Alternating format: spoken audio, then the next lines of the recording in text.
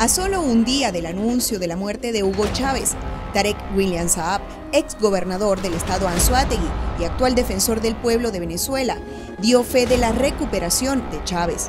En un programa radial, Saab dijo confiar en los partes oficiales. Hoy el mandatario se encuentra convaleciente y la información directa que tengo de voz del ministro Villegas y del vicepresidente Maduro es que está en franca mejoría, dijo Saab. Y esperamos que esta situación lo coloque en una circunstancia donde pueda seguir liderando los procesos de este país. Chávez es necesario para toda Venezuela.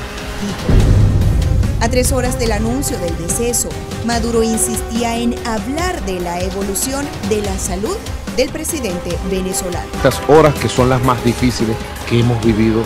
Más tarde, en horas de la tarde, eh, volveremos a informar a través de un comunicado oficial, como nuestro pueblo sabe que lo hacemos, para actualizar la evolución clínica de nuestro comandante presidente y mientras tanto nos mantenemos en lo que él siempre nos ha tenido trabajando